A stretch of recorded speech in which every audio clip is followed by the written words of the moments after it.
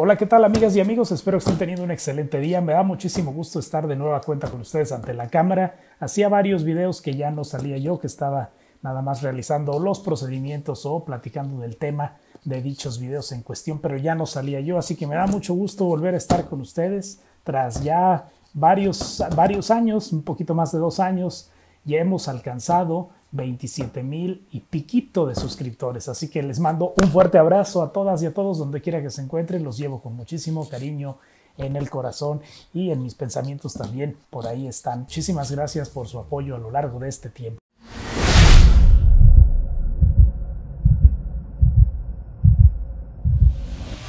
Vamos a comenzar este video. En esta oportunidad les quiero presentar otro producto más de Canon. Sí, yo sé que parece que la marca patrocina este canal, pero no es así, desafortunadamente no es así. Solamente que sí adquirimos sus productos ya que estamos convencidos de verdad de la calidad que tienen, de la durabilidad, esa relación costo-beneficio en Canon, al menos en la serie Pixma y pues bueno, en las cámaras, ya que eh, mis videos son tomados en una parte con una Canon ya de algunos años. Son, es una relación muy buena, son productos muy buenos. En esta oportunidad vamos a hacer un desempaquetado de una impresora que les quiero platicar. Es sumamente económica. Bueno, anda alrededor de los 150 dólares, quizás 3 mil pesos de pronto no suenen tan económicos, pero créanme que lo es. Creo que está enfocada a un mercado estudiantil a un mercado con un recurso más limitado que se tiene que gastar de manera más inteligente y que una compra inteligente es precisamente hacer eh, un gasto en un producto de calidad como es esta marca. No es un multifuncional, es una impresora, no tiene escáner, nada más. Imprime que es realmente en este momento lo que nos interesa. Y es que tras varios años nuestra Pixma G 2100 ya los cabezales están sumamente rayados y decidí que pues por el tiempo, por el eh, ahora sí que el ritmo y la carga de trabajo a la que he estado sometida, pues ya no tiene caso invertir en unos cabezales nuevos para ese equipo. Es un equipo que ha impreso más de 170 mil hojas, si no es que estamos llegando yo creo que a las 200 mil hojas. Es un equipo que realmente ya se pagó. Y por ya se pagó me refiero a que, bueno, hizo formatos, hizo recetas, hizo muchísimas cosas en escalas más pequeñas, obviamente no como una imprenta offset, pero sí estuvo sometida a mucho trabajo, a una carga de trabajo muy fuerte. Así que bueno, todo por servir acaba y no es la excepción en esos cabezales. Sí, de esa Pixma G2100 de hace ya varios años. Por cierto, que a ese multifuncional le tengo mucho cariño y es que gracias a esos videos del desempaquetado, de cómo instalarla, fue que esto se convirtió en una realidad porque yo no pensaba dedicarme a hacer contenido para YouTube y gracias a eso aquí estamos. Estoy muy contento por eso, así que pues a ojos cerrados yo siempre les diría compren un equipo de estos, de esta marca. Epson también tiene sus cosas buenas, pero también tiene sus cosas malas. Una de las cosas que yo siempre estoy en desacuerdo con Epson es en el volumen que limita a los equipos a imprimir por mes. En su memoria ya viene preestablecido un volumen y es bien fácil de alcanzar y el equipo simplemente no imprime y nos arroja un error. Hay que hacer un bypass con un software que no es gratis, en fin tiene sus detalles Epson y por eso yo estoy muy contento con Canon. Voy a platicarles brevemente de este equipo. Es un equipo que cuenta con dos años de garantía con el fabricante. La garantía en un principio consta de un año. Sin embargo, si tú llenas una encuesta en línea, te regalan otro año y de ese modo sumas esos dos. Su única función es imprimir sistema continuo de tinta. El rendimiento de Canon, que ya todos conocemos, realmente es un muy buen rendimiento. Las botellitas de tinta de acuerdo a los estándares de Canon, bueno, están pensadas para que la de negro nos dé 6.000 páginas, por aquí lo estoy leyendo, y la de color nos dé 7.000 páginas. Esa combinación de tintas más o menos les va a dar, en mi experiencia, y dependiendo de la cobertura, pues unas 3.000 hojas, 3.500 hojas sin problema de textos, fotos. Es realmente un muy buen rendimiento, así que se las recomiendo muchísimo. Acompáñenme al desempaquetado y luego vamos a hacer la instalación en Windows, que aquí hay una situación en la cual me quiero detener un poquito. La publicidad de la caja abiertamente dice que no es compatible con Mac OS. Bueno, no es compatible con Mac. Aquí, de hecho, está en la parte de abajo también, por aquí está.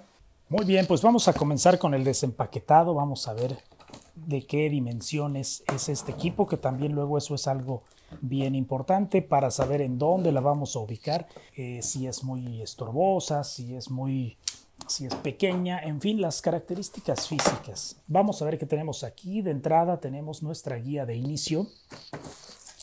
Tenemos el controlador en versión de disco compacto. Ya costará trabajo encontrar equipos que aún lo tengan.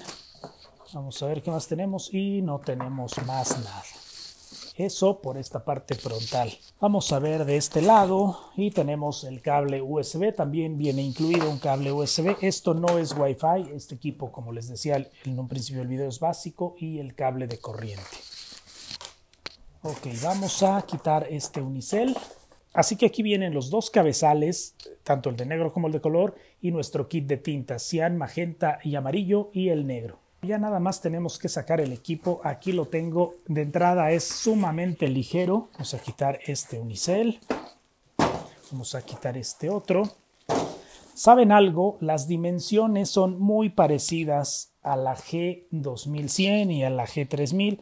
El ancho y el largo realmente son muy parecidos. Lo único que estoy notando que cambia es obviamente el alto y eso por haber prescindido del escáner. No estoy viendo un ahorro en las dimensiones, es el mismo tamaño de toda la serie G, obviamente no del modelo 7010, que es un modelo muy grande, lo que sí, pues muy ligero, una bandeja para nuestras hojas, hay que retirar todos estos empaques, vamos a ver cómo se abre. El acceso al interior es como en todas las, Pixma, esto es realmente una hoja de plástico, está Quizás aquí les pudiera decir muy endeble, nada recomendable que aquí le vayan a poner algo, algo con peso.